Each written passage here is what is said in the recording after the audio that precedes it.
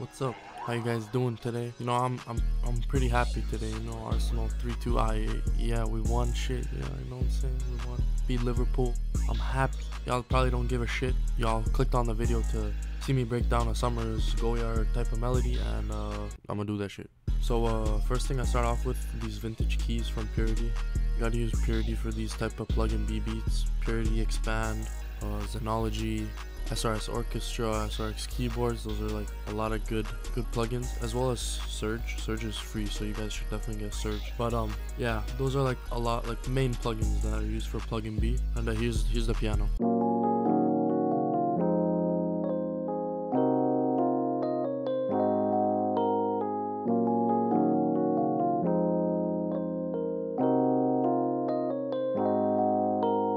Now I use that first part of the piano for like the chorus and stuff, and then I use the second part without all the grace notes on the top for the verse, and I think the intro as well, but I don't remember. It's it's a loop, so it's just for variation, I guess. I just added this.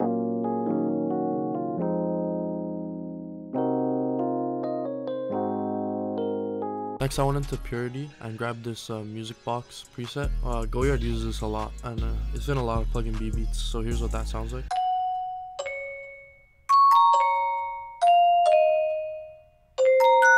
Next, I wanted to expand and picked up this legato Tremolino. It's like it's a string. I don't fucking know, bro. I don't know any of this shit. I just fucking click buttons and shit. So here's what that sounds like.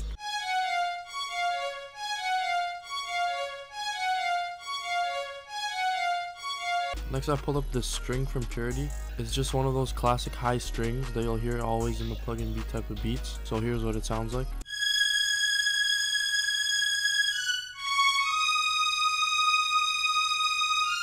And this last sound I got is this mod wah guitar type of thing. I don't know, it just sounds really wonky and like yeah, so I just added that.